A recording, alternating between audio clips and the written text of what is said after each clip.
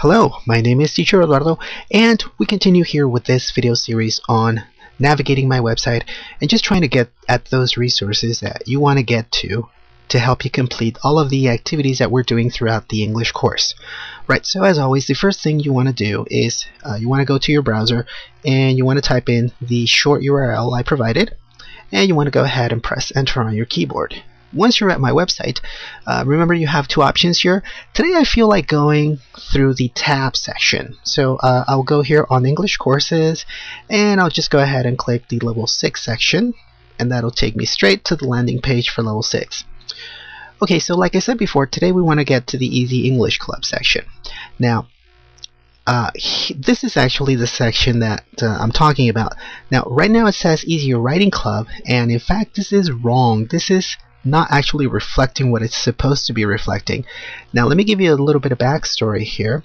Um, originally I intended this section to be just as its name says for writing just to build on the writing skill on writing sentences writing um, connecting sentences with the um, with the words like and or but meanwhile uh, on the other hand and so on and so forth um, because I found that when students would get to level 6, being the last level of a three-year course, um, normally their speaking skills were really good, their listening skills were really good, the reading skills were fairly good, and the writing skill was normally either very poor or non-existent. So this was part of a project to just uh, start that up and just trying to level it out with everything else.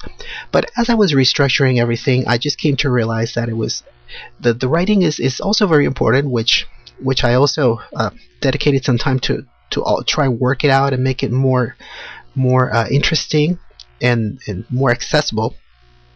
But uh, through that, uh, everything else started to integrate. So eventually, I came to realize that it would be better just to be an English club instead of a writing club. So it's trying to work the whole all of the skills at the same time. So eventually this I'll update this.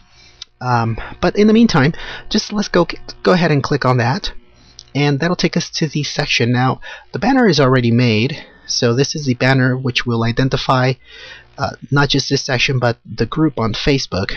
So if you're trying to get to the Facebook group which is what I'm calling the EC English Club, you want to find this big link here you have at the bottom. Now this is the straight link for the group. So by clicking on here, it'll go direct to the Facebook group. And if this is the first time you're going there, what you want to do is you want to request to join. Now, I do want to remind you, because this group, uh, because in this group we're doing all of the learning activities that are complementary to the course, uh, I am only accepting those students that are part of the course, of the actual course. So, because really the main activities happen in the classroom and the Facebook group is a complement to that. So it's very, very important that we have those two linked. Uh, this is not for everybody or anybody that is uh, visiting on the web, on the internet. This is only for those people who are my students uh, physically in the classroom. Uh, so if you're one of those people, you want to go go ahead to this link, click it, go straight to the Facebook group, and request to join. And uh, once I've confirmed you are on my list, then uh, I'll grant you access.